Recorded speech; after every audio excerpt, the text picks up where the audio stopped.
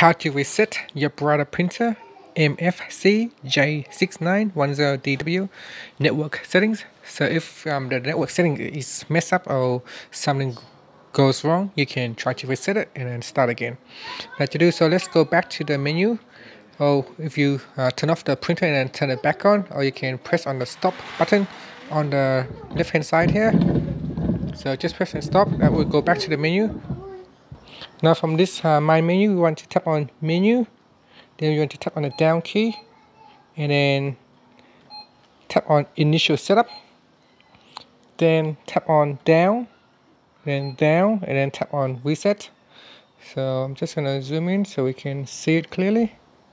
So tap on reset.